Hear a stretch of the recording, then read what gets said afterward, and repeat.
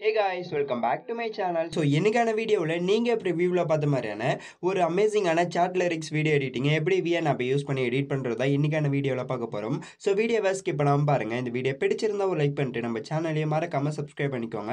கூடவே ஒரு பெலைக்கான ப்ரெஸ் பண்ணி ஆளுங்கிறத அனபிள் பண்ணிக்கோங்க. அப்போ தான் நான் போடக்கூடிய ஒவ்வொரு எடிட்டிங் வீடியோஸோட நோட்டிஃபிகேஷன்ஸ் உங்களுக்கு வரும். நீங்கள் இன்னும் நம்மளோட டெலிகிராம் குரூப்பில் வந்து ஜாயின் பண்ணாமல் இருந்தீங்கன்னா ஜாயின் பண்ணிக்கோங்க. இந்த இடத்த பார்த்தீங்கன்னா நிறைய அப்டேட்ஸ் வந்துட்டே இருக்கும். ஸோ டிஸ்கிரிப்ஷன் பாக்ஸில் லிங்க் இருக்குது ஸோ அந்த லிங்கை கிளிக் பண்ணி ஜாயின் பண்ணிக்கோங்க. இப்போ வந்து நீங்கள் ப்ரிவியூவில் பார்த்த மாதிரியான வீடியோ எடிட் பண்ணுறதுக்கு நமக்கு வந்து இந்த பிக்சல் ஆப் விஎன் ஆப் அப்புறம் பார்த்தீங்கன்னா இந்த ஃபேக் சாட் அப்படின்ற இந்த மூணு ஆப் தான் தேவை. ஸோ ஃபஸ்ட் ஆஃப் ஆல் வந்து நீங்கள் ப்ளே ஸ்டோரில் இந்த ஆப் மூணுமே வந்து அவைலபிளாக இருக்குது நீங்கள் ப்ளே ஸ்டோர்லேருந்து இன்ஸ்டால் பண்ணிக்கோங்க. இந்த ஆப்போட லிங்க் வேணும்னா நான் டிஸ்கிரிப்ஷன் பாக்ஸில் போட்டுக்கிறேன். வேணுன்றவங்க அந்த லிங்கை கிளிக் பண்ணி டேரெக்டாகவே வந்து டவுன்லோட் பண்ணிக்கோங்க. டவுன்லோட் பண்ணதுக்கு அப்புறம் இந்த ஃபேக் சாட் ஆப் வந்து ஃபஸ்ட்டு ஓப்பன் பண்ணிக்கோங்க. ஓப்பன் பண்ணதுக்கப்புறம் உங்களுக்கு பார்த்தீங்கன்னா இன்டர்ஃபேஸ் பார்க்குறதுக்கு இந்த மாதிரி தான் இருக்கும். ஓப்பன் பண்ணதுக்கு அப்புறம் ஃபேக் சாட்னு இருக்கா? ஸோ அதை வந்து செலக்ட் பண்ணிக்கோங்க. செலக்ட் பண்ணதுக்கப்புறம் மேலே பார்த்தீங்கன்னா ப்ளஸ் ஐக்கான இருக்கும். அந்த ப்ளஸ் ஐக்கானை வந்து கிளிக் பண்ணிக்கோங்க. கிளிக் பண்ணதுக்கப்புறம் இங்கே டார்க் மோட் வந்து ஆனில் இருக்கான்னு பார்த்துக்கோங்க. அப்போ தான் நமக்கு வந்து அந்த பிளாக் ஸ்க்ரீன் வந்து வரும். நீங்கள் வந்து இந்த டார்க் மோட் ஆஃபில் இருந்ததுன்னா ஆன் பண்ணிக்கோங்க. ஆன் பண்ணதுக்கப்புறம் டிக் கொடுத்துட்டு பேக் வந்துடுங்க பேக் வந்த பிறகு இங்கே பார்த்தீங்கன்னா செட் ஸ்டேட்டஸ்னு இருக்கும். ஸோ அதை வந்து செலக்ட் பண்ணிக்கோங்க. செலக்ட் பண்ணதுக்கப்புறம் கிரியேட் ஏ நியூ ஃப்ரெண்டுன்னு இருக்கும். ஸோ அதை வந்து செலக்ட் பண்ணிக்கோங்க. செலக்ட் பண்ணதுக்கப்புறம் சேஞ்ச் ஏ ப்ரொஃபைல்னு இருக்கும். ஸோ அதை கிளிக் பண்ணிக்கோங்க. கிளிக் பண்ணதுக்கப்புறம் நீங்கள் யாரோட ஃபோட்டோஸ் வச்சு எடிட் பண்ண போகிறீங்களோ ஸோ அவங்களோட ஃபோட்டோ வந்து செட் பண்ணிட்டு டன் கொடுத்துருங்க. கொடுத்ததுக்கப்புறம் இங்கே பார்த்தீங்கன்னா ஃப்ரெண்ட்ஸ் நேம்னு இருக்கும். ஸோ நீங்கள் வந்து ஏதாவது நேம் வந்து டைப் பண்ணிக்கோங்க. இப்போ நான் வந்து மை லவ் அப்படின்னு சொல்லிட்டு டைப் பண்ணிக்கிறேன். ஸோ டைப் பண்ணதுக்கப்புறம் பேக் வந்துருங்க. பேக் வந்த பிறகு இங்கே பார்த்தீங்கன்னா தெம்னு இருக்கும். ஸோ இந்த கலரை சூஸ் பண்ணிட்டு அந்த ஃபாண்ட்டோட லிரிக்ஸ் வந்து சேட் பண்ணும்போது வரும் பார்த்தீங்களா பேக்ரவுண்டில் அந்த கலர் எந்த கலர் வேணுமோ ஸோ அந்த கலரை வந்து செலக்ட் பண்ணிக்கோங்க. இப்போ நான் வந்து செலக்ட் பண்ணிக்கிறேன். செலக்ட் பண்ணதுக்கப்புறம் இங்கே பார்த்தீங்கன்னா உங்களுக்கு வந்து மெமரி கார்டு சிம்பிள் இருக்கும் அந்த சிம்பிளை கிளிக் பண்ணிங்கன்னா சேவ் ஆகிடும் சேவ் ஆகிட்ட பிறகு இப்போ நீங்கள் சேவ் பண்ணி வச்சுருக்கக்கூடிய அந்த கான்டாக்டை வந்து ஓப்பன் பண்ணிக்கோங்க. ஓப்பன் பண்ணிங்கன்னா உங்களுக்கு வந்து இன்டர்ஃபேஸ் பார்க்குறதுக்கு இந்த மாதிரி தான் இப்போ என்ன பண்ணுறீங்க கீபோர்டு வந்து ஓப்பன் பண்ணிக்கோங்க. ஓப்பன் பண்ணதுக்கப்புறம் இப்போ நீங்கள் எந்த சாங் வச்சு எடிட் பண்ண போகிறீங்களோ ஸோ அந்த சாங்கோட லிரிக்ஸை வந்து இப்போ நீங்கள் டைப் பண்ணிக்கோங்க. இல்லைனா கட் காப்பி பேஸ்ட் பண்ணிக்கோங்க. இப்போ நான் வந்து காப்பி பண்ணி பேஸ்ட் பண்ணிக்கிறேன்.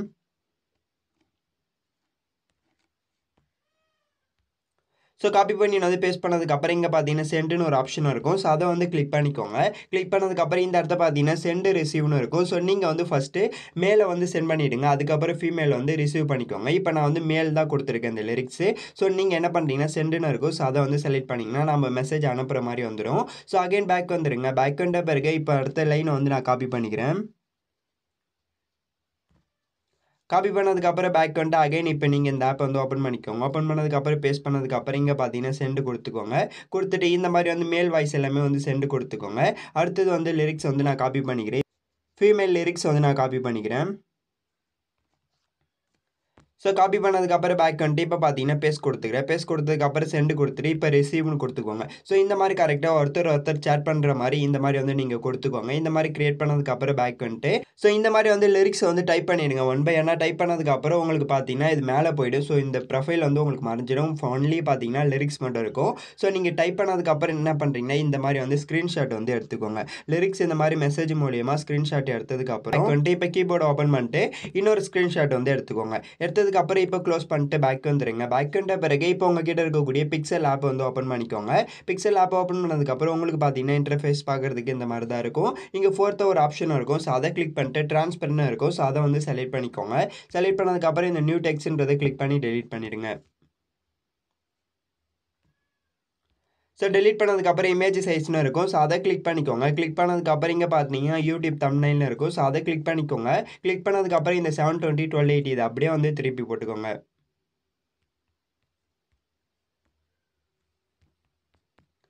ஸோ இந்த வேல்யூஸை திருப்பி போட்டதுக்கப்புறம் ஓகே கொடுத்துக்கோங்க. கொடுத்துட்டு அகைன் இங்கே தேர்டாக இருக்கக்கூடிய இந்த ஆப்ஷனை செலக்ட் பண்ணி இம்போர்ட்னு இருக்கும். ஸோ அதை வந்து செலக்ட் பண்ணிக்கோங்க. செலக்ட் பண்ணதுக்கப்புறம் இப்போ லிரிக்ஸை விட்டுட்டு செகண்டாக வந்து ஸ்க்ரீன்ஷாட் எடுத்து ஸோ அந்த ஸ்க்ரீன்ஷாட் வந்து ஓப்பன் பண்ணிக்கோங்க. ஓப்பன் பண்ணதுக்கப்புறம் இங்கே பார்த்தீங்கன்னா கிராப்னு ஒரு ஆப்ஷன் இருக்கும். ஸோ கரெக்டாக நீங்கள் என்ன பண்ணுறீங்கன்னா மூவ் பண்ணி எடுத்துகிட்டு வந்து இந்த கீபோர்டை மட்டுமே கிராப் பண்ணி தனியாக எடுத்துக்கோங்க.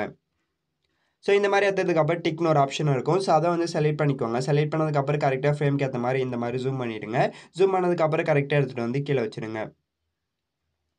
ஸோ இந்த மாதிரி வச்சதுக்கப்புறம் டிக் கொடுத்துட்டு பேக் வந்துருங்க. பேக் வந்த பிறகு அகைன் இப்போ என்ன பண்ணுறீங்கன்னா இம்போர்ட் ஸோ அதை கிளிக் பண்ணி அடுத்த ஃபோட்டோ வந்து இம்போர்ட் பண்ணிக்கோங்க. அதே ஃபோட்டோவே வந்து இம்போர்ட் பண்ணிக்கோங்க. இம்போர்ட் பண்ணதுக்கப்புறம் இப்போ மேலே மட்டுமே கிராப் பண்ணிக்கோங்க.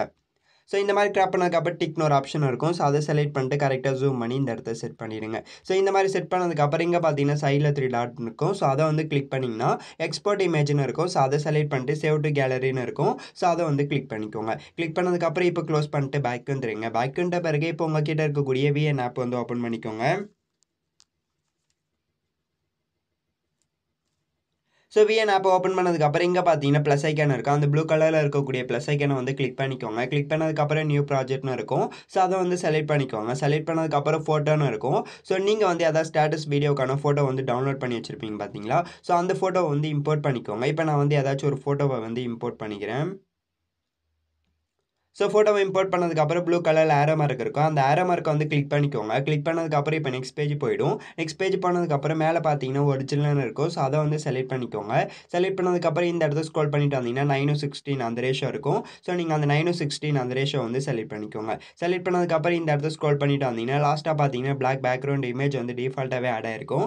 இந்த பிளாக் பேக்ரவுண்ட் இமேஜை டபுள் கிளிக் பண்ணி டெலிட் ஆப்ஷன் இருக்கும். ஸோ அதை கிளிக் பண்ணி டெலிட் பண்ணிடுங்க. டெலிட் பண்ணதுக்கப்புறம் டபுள் கிளிக் பண்ணிக்கோங்க. கிளிக் பண்ணதுக்கப்புறம் இந்த இடத்த லாங் ப்ரெஸ் பண்ணி மூவ் பண்ணி எடுத்துகிட்டு போயிட்டு நீங்கள் எத்தனை செகண்ட் வீடியோ மேக் பண்ண போகிறீங்களோ ஸோ அத்தனை செகண்ட் வந்து ட்ராக் பண்ணிக்கோங்க. ட்ராக் பண்ணி வச்சதுக்கப்புறம் டிக் கொடுத்துட்டு பேக் வந்துருங்க. பேக் வந்துட்ட பிறகு அகைன் இந்த ஐக்கானை கிளிக் பண்ணிக்கோங்க. கிளிக் பண்ணதுக்கப்புறம் வீடியோ அண்ட் ஃபோட்டோன்னு இருக்கும். ஸோ அதை வந்து செலக்ட் பண்ணிக்கோங்க. செலக்ட் பண்ணதுக்கப்புறம் இப்போ ஃபோட்டோன்றதை செலக்ட் பண்ணிக்கோங்க. செலக்ட் பண்ணதுக்கப்புறம் இப்போ பிக்சல் லேப்பில் நம்ம வந்து கீபோர்டு அப்புறம் பார்த்தீங்கன்னா ப்ரொஃபைலையும் வந்து எடிட் பண்ண பார்த்தீங்கன்னா பிஎன்ஜி இமேஜா ஸோ அந்த இமேஜை வந்து இம்போர்ட் பண்ணிடுங்க. இம்போர்ட் பண்ணி இடத்த ஸ்க்ரோல் பண்ணிட்டு வந்தீங்கன்னா உங்களுக்கு வந்து ஃபிட்னு ஒரு ஆப்ஷன் இருக்கும். ஸோ அதை வந்து செலக்ட் பண்ணிக்கோங்க. செலக்ட் பண்ணதுக்கப்புறம் கரெக்டாக பார்த்தீங்கன்னா ஃப்ரேம்க்கு ஏற்ற மாதிரி செட் ஆகிடும் செட் ஆனதுக்கப்புறம் அகைன் இப்போ என்ன பண்ணுறீங்கன்னா இந்த பேஜ் இமேஜோட லாங் ப்ரெஸ் பண்ணி இங்கே பார்த்தீங்கன்னா வீடியோ டென்ட்னு ஒரு ஆப்ஷன் இருக்கும். ஸோ அதை வந்து கிளிக் பண்ணிக்கோங்க. கிளிக் பண்ணதுக்கப்புறம் ஃபஸ்ட்டில் எடுத்துகிட்டு வந்து வச்சுருங்க. வச்சதுக்கப்புறம் அகைன் வந்து இந்த ஐக்கானை கிளிக் பண்ணி வீடியோ அண்ட் ஃபோட்டோன்னு இருக்கும். ஸோ அதை வந்து செலக்ட் பண்ணிக்கோங்க. செலக்ட் பண்ணதுக்கப்புறம் ஃபோட்டோன்றதை செலக்ட் பண்ணிக்கோங்க. செலக்ட் பண்ணதுக்கப்புறம் இப்போ வந்து நம்ம லிரிக்ஸை வந்து ஸ்க்ரீன்ஷாட் எடுத்தோம் பார்த்தீங்களா? ஸோ அந்த ஸ்க்ரீன்ஷாட் இமேஜை வந்து இம்போர்ட் பண்ணிடுங்க. இம்போர்ட் பண்ணதுக்கப்புறம் இந்த இடத்த ஸ்க்ரோல் பண்ணிட்டு வந்தீங்கன்னா உங்களுக்கு வந்து கிராப்பிங்னு ஒரு ஆப்ஷன் இருக்கும். ஸோ அதை வந்து செலக்ட் பண்ணிக்கோங்க. செலக்ட் பண்ணதுக்கப்புறம் நைன் சிக்ஸ்டீன் அந்த ரேஷோ வந்து செலக்ட் பண்ணிட்டு கரெக்டாக நீங்கள் டைப் பண்ண மொத்த லிரிக்ஸும் இந்த ரேஷோவில் வர மாதிரி ஜூம் அவுட் பண்ணி வச்சுருங்க. வச்சதுக்கப்புறம் டிக்னு ஒரு ஆப்ஷன் இருக்கும். ஸோ அதை வந்து செலக்ட் பண்ணிக்கோங்க. செலக்ட் பண்ணதுக்கப்புறம் கரெக்டாக நீங்கள் என்ன பண்ணுறீங்கன்னா இந்த மாதிரி ஜூம் பண்ணிக்கோங்க. ஸோ இந்த மாதிரி ஜூம் பண்ணதுக்கப்புறம் கீழே எடுத்துகிட்டு வந்து இந்த மாதிரி வச்சுருங்க. வச்சதுக்கப்புறம் இப்போ என்ன பண்ணுறீங்கன்னா பேக்ரவுண்டில் நீங்கள் ஆட் பண்ணி வச்சிருக்கக்கூடிய இந்த பிஎன்ஜி இமேஜை லாங் ப்ரெஸ் பண்ணி மேலே மூவ் பண்ணுங்கள் ஸோ இந்த மாதிரி மூவ் பண்ணி மேலே வச்சுருங்க வச்சதுக்கப்புறம் அகைன் நீங்கள் ஆட் பண்ணியிருக்கக்கூடிய அந்த லிரிக்ஸ் இமேஜை வந்து கிளிக் பண்ணிக்கோங்க. கிளிக் பண்ணதுக்கப்புறம் இப்போ பார்த்தீங்கன்னா பேக்ரவுண்டில் போயிடும். பேக்ரவுண்டில் போனதுக்கப்புறம் டிக் கொடுத்துட்டு பேக் வந்துட்டு ஃபஸ்ட்லேயே ஆடியோ சிம்பிள் இருக்கும். அந்த ஆடியோ சிம்பிளை கிளிக் பண்ணி மியூசிக்னு இருக்கும். ஸோ அதை வந்து செலக்ட் பண்ணிக்கோங்க. செலக்ட் பண்ணதுக்கப்புறம் இப்போ நீங்கள் எந்த சாங் செலக்ட் பண்ணி வச்சிருக்கீங்களோ அந்த சாங் வந்து ஃபஸ்ட்டு நீங்கள் இம்போர்ட் பண்ணிடுங்க. இம்போர்ட் பண்ணதுக்கப்புறம் டிக்னு ஒரு ஆப்ஷன் இருக்கும். ஸோ அதை செலக்ட் பண்ணிங்கன்னா இந்த இடத்த பார்த்தீங்கன்னா சாங் வந்து ஆட் ஆகிடும் ஆட் ஆகிட்ட பிறகு பேக்ரவுண்டில் நீங்கள் ஆட் பண்ணி வச்சிருக்கக்கூடிய இந்த லிரிக்ஸ் இமேஜை வந்து கரெக்டாக வீடியோக்கு எண்டு வரைக்குமே ட்ராக் பண்ணிக்கோங்க. ட்ராக் பண்ணி வச்சதுக்கப்புறம் டிக் கொடுத்துட்டு பேக் வந்துட்டு அந்த இமேஜை வந்து கிளிக் பண்ணிக்கோங்க. ஸோ லிரிக்ஸ் இமேஜை கிளிக் பண்ணதுக்கப்புறம் இந்த இடத்த ஸ்க்ரோல் பண்ணிட்டு வந்தீங்கன்னா பிளண்டிங்னு ஒரு ஆப்ஷன் இருக்கும். ஸோ அதுக்குள்ளே போயிட்டு ஸ்க்ரீன்ன்ற ஆப்ஷன் இருக்கும். ஸோ அதை வந்து செலக்ட் பண்ணிக்கோங்க. செலக்ட் பண்ணதுக்கப்புறம் சிங்கிள் டிக் இருக்கும். அந்த சிங்கிள் டிக்கை வந்து கிளிக் பண்ணிக்கோங்க. கிளிக் பண்ணதுக்கப்புறம் இங்கே பார்த்தீங்கன்னா கீ ஃப்ரேம் வந்து இருக்கும். அந்த கீ ஃப்ரேம் வந்து கிளிக் பண்ணிக்கோங்க. கிளிக் பண்ணதுக்கப்புறம் இப்போ என்ன பண்ணுறீங்கன்னா பேக் வந்துட்டு ப்ளே பண்ணி பாருங்கள் ப்ளே பண்ணி பார்த்துட்டு கரெக்டாக ஃபஸ்ட் வார்த்தை எங்கே முடியுதோ ஸோ அங்கே வந்து ஸ்டாப் பண்ணிடுங்க. ஸ்டாப் பண்ணதுக்கப்புறம் அந்த லிரிக்ஸ் இமேஜ் வந்து கிளிக் பண்ணிக்கோங்க. கிளிக் பண்ணதுக்கப்புறம் கீ ஃப்ரேம் வந்து ஆட் பண்ணிக்கோங்க. ஆட் பண்ணதுக்கப்புறம் கரெக்டாக அந்த ஃபஸ்ட் லிரிக்ஸ் மட்டுமே தெரிகிற மாதிரி மூவ் பண்ணிக்கோங்க. ஸோ இந்த மாதிரி மூவ் பண்ணதுக்கப்புறம் அகைன் வந்து ப்ளே பண்ணி பாருங்கள் ப்ளே பண்ணி பார்த்துட்டு அடுத்த லிரிக்ஸ் வந்து எங்கே கட் ஆகிட்டு ஸ்டார்ட் ஆகுதோ ஸோ அங்கே வந்து வச்சுக்கோங்க. வச்சதுக்கப்புறம் அகைன் லிரிக்ஸ் இமேஜ் கிளிக் பண்ணிட்டு கரெக்டாக வந்து மேலே மூவ் பண்ணுங்கள் ஸோ இந்த மாதிரி கரெக்டாக வந்து ப்ளே பண்ணி பார்த்துட்டு ப்ளே பண்ணி பார்த்துட்டு கரெக்டாக அந்த லிரிக்ஸ்க்கு ஏற்ற மாதிரி கீ அனிமேஷன் வந்து ஆட் பண்ணிட்டு மூவ் பண்ணுங்கள்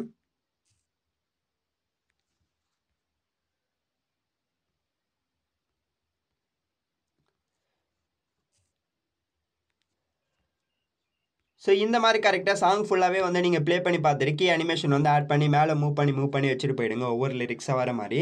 இப்போ வந்து ப்ளே பண்ணி பார்த்தீங்கன்னா உங்களுக்கு வந்து ஒவ்வொரு லிரிக்ஸாக கரெக்டாக இந்த மாதிரி தான் வர மாதிரி இருக்கும். ஸோ நீங்கள் இந்த மாதிரி கரெக்டாக வந்து கீ ஃப்ரேம் வந்து ஆர்டராக வந்து ஆட் பண்ணிவிடுங்க ஆட் பண்ணதுக்கப்புறம் டிக் கொடுத்துட்டு பேக் வந்துட்டு பேக்ரவுண்டில் நீங்கள் ஆட் பண்ணி வச்சிருக்கக்கூடிய இந்த இமேஜை வந்து கிளிக் பண்ணிக்கோங்க. கிளிக் பண்ணதுக்கப்புறம் இந்த இடத்த ஸ்க்ரோல் பண்ணிட்டு வந்தீங்கன்னா உங்களுக்கு வந்து இங்கே பார்த்தீங்கன்னா பேஜின்னு ஒரு ஆப்ஷன் இருக்கும். ஸோ அதை கிளிக் பண்ணிட்டு இமேஜ்னு இருக்கும். ஸோ அதை வந்து செலக்ட் பண்ணிக்கோங்க. செலக்ட் பண்ணதுக்கப்புறம் இங்கே தேர்ட்டின் இருக்கும். ஸோ நீங்கள் வந்து ஒரு செவன் இல்லைனா எயிட் சிக்ஸ் இந்த மாதிரி வந்து வேல்யூ செட் பண்ணிடுங்க.